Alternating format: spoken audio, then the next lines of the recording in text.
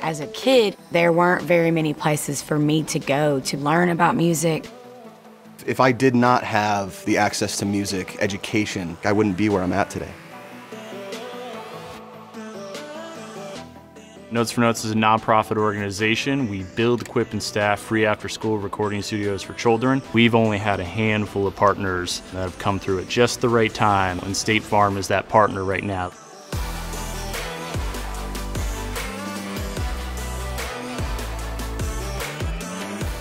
State Farm taking music education to the festivals, that excites me.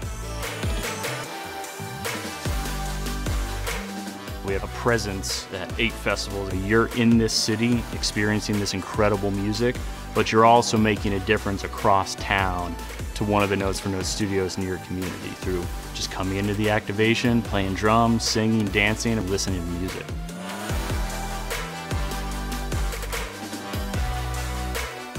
I watch these people from different backgrounds. They walk through the door to the studio and it just changes. Because once you're playing music, you can let out your frustrations, and I think a lot more people should have access to it. State Farm and I are building a Notes for Notes in Las Vegas, my hometown. Yeah, dude! It's official! Spark is lit. It's, it's, there's no putting it out now.